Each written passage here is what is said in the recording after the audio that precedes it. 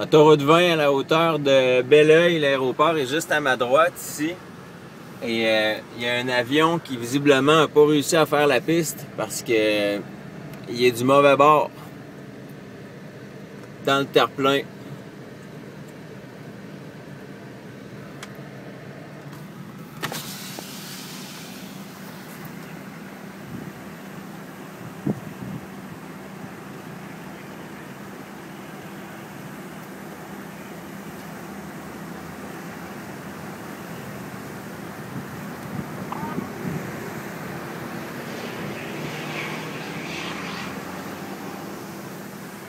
La piste est juste là.